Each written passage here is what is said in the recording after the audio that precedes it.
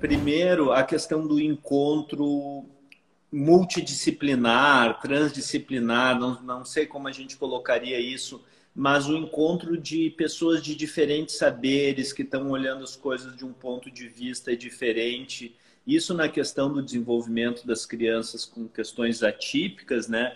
Isso é super importante. Então, de uma certa forma, a gente está mostrando um modelo do que é muito importante, do que os profissionais conversem e que conversem também de uma forma mais desestruturada, um uhum. diálogo mais solto, mais livre, livre de preocupações, livre de julgamento, onde cada pessoa possa dizer o que pensa, o seu ponto de vista, porque é dessa maneira que a gente constrói inovação, é dessa maneira que a gente enxerga a solução para as coisas, né? Então, numa coisa super informal, mesmo nas grandes universidades, eles privilegiam muito o espaço da informalidade, porque é quando o cara que é lá um grande cientista da física se encontra com alguém que é da computação, com outro das ciências sociais, e é nesse ambiente onde surgem as, as grandes novidades, né?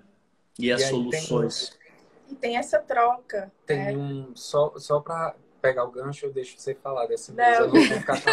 não briga, não. A gente não vai brigar. Mas tem um livro de uma autora que eu li, acho que o nome dela é Maíra Gaiato, eu acho. Ah! Que fala... O SOS Autismo eu, é... foi um. Sei! É, é um que tem aquele gráfico que fala de zona de de conforto, de conforto. De eu pensei nisso também. Pois é. Eu acho que o que o Rodrigo está falando de tornar as nossas conversas é, menos protocolares e, e, e, mais talvez mais humildes é, no sentido de cada um contribuir na, na, na no, no, nas, no cumprimento de metas, né, nos objetivos que a gente acaba traçando, esperando para os nossos pacientes. É, eu acho que faz com que a gente saia da nossa zona de conforto e entre na zona de aprendizado.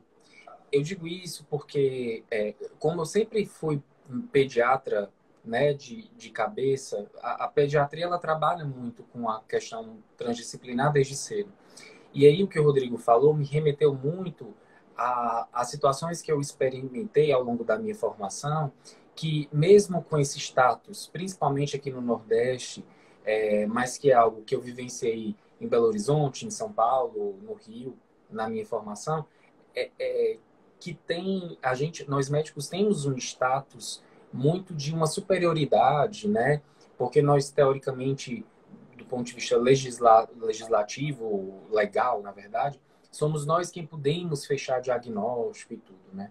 E quantas vezes é, a gente precisa desse apoio dos terapeutas que tem às vezes mais experiência naquela situação específica, imaginando que o Rodrigo, como psiquiatra e psiquiatra da infância, e trabalhe com o, o DSM, a DSM todinha, tenha que dar conta de todas as patologias de uma maneira super precisa, super cirúrgica. O neuropediatra, da mesma forma, tem que entender de doença neuromuscular, de epilepsia, de neurocomportamento, de desenvolvimento e tal.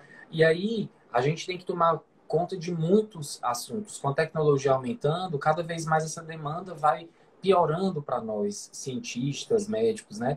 Então, por que não ouvir a Mariana, que é neuropsicóloga, e faz uma avaliação super precisa de algo que eu estou em dúvida se é ansiedade ou se é TDAH, se são as duas coisas juntas, né? Por que não ouvir a Maíra dizer, gente, essa criança ela não tem perfil de aba, ela não, ela se beneficia. O médico disse que não é para fazer aba, porque primeiro tem que fazer.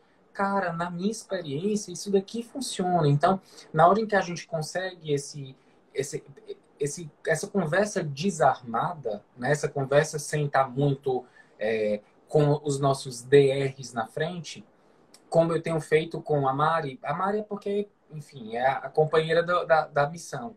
Mas com outros profissionais que estão aqui no, na nossa live, de clínicas diferentes. O que o, que o Rodrigo está falando é muito legal. Então, a, a, intenção é essa, de a gente ter esse momento de é, tornar as nossas, as nossas idas na Copa, de tomar um café, tomar uma água e se cruzar no corredor e ter essa oportunidade, mas que isso vire uma rotina para que a troca de informação com o objetivo né, de um funcionamento dentro de uma qualidade legal, de convívio entre profissionais, mas que esse convívio também seja traduzido de forma prática para o trabalho com os pacientes. Eu acho que é muito legal. Mas é difícil, hein, Salvio? É, é difícil, sabe? A gente tem um médico uhum. que faça isso. É muito difícil. E que vou... sente para conversar com a gente, que tome um café com a gente, que queira entender os procedimentos de verdade, uhum. porque geralmente uh, eles vêm os pacientes em uma hora ou meia hora, no intervalo de seis meses, aquela criança às vezes ficou esperando horas na recepção, pega uma fatia da criança e uhum. vem e fala: Não, é por que está fazendo esse programa?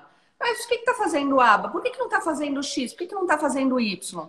E não sentou para trocar ideia, para trocar figurinha. É muito raro a gente conseguir acessar um médico no nível que a gente acessa você, no nível que a gente acessa o Rodrigo. Eu, humildemente, quando eu comecei a trabalhar com autismo, eu disse assim, cara, sei de nada disso não, eu tenho que estudar, tenho que me aprofundar, tenho que me... Cara, eu fui para o meio do, do, dos terapeutas ocupacionais tem uma galera aqui que não vai me deixar mentir. O Lanova, é, quem mais que eu, que eu vi? Que é uma galera. Eu fui assistir a, o curso de formação de integração sensorial. Que le... Nossa! E essa semana as teós devem ter ficado chocadas. Fui. Essa semana ele foi querer entender todos os testes, o que, que avalia. E foi com a doutora Winnie Doom. Então eu cheguei lá bem caladinho. Ninguém acreditava que você estava fazendo. Aí o quê? Você é médico, você tá aqui com a gente. E foi exatamente, ela disse assim, como assim? Tem um médico aqui na, na, uhum. na plateia, não sei o quê, na turma? Aí eu disse, oi, sou eu.